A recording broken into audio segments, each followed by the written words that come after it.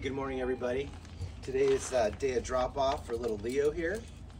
He's uh, come here buddy, five month old chocolate lab and he's here for the two week board and train and we're gonna kind of show you what he knows right now and then in two weeks uh, you can check in on his progress. He's an awesome little guy, aren't ya? So we're gonna put some basic obedience on him uh, for his owner Daniel. We can get him back so he can go out and hang out at the brewery with him, uh, walk around with him, just kind of be his uh, overall little traveling buddy. Um, he's got a lot of spunk. Come here, buddy. Yeah.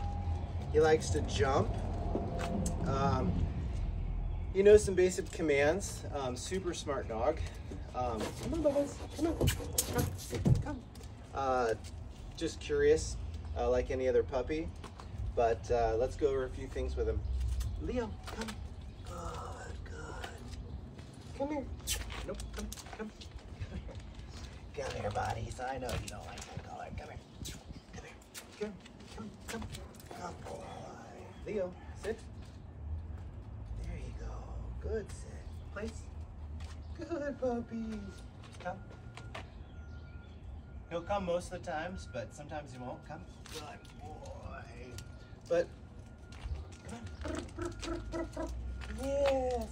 First picked him up, he didn't want to come to me, which is completely understandable. He doesn't know me.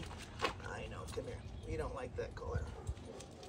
So, two weeks, check in with him and you can check in on his progress. Come here, Bubba's. Come here. Yes.